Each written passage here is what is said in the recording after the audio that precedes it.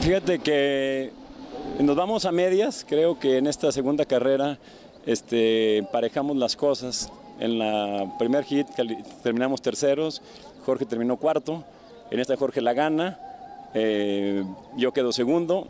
Entonces creo que los puntos de la pole position que nos llevamos el día de hoy, con la suma de resultados, usted no me haga mucho caso, pero creo que quedamos 0-0 como llegamos, ¿no?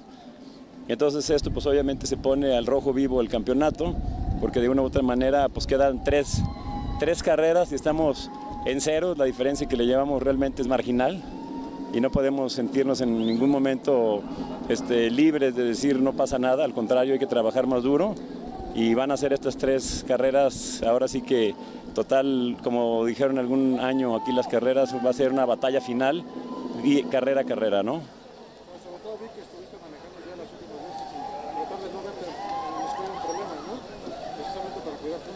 Sí, la verdad es que queríamos alcanzar a Jorge, no lo alcanzamos a, le alcanzamos a ganar esta carrera.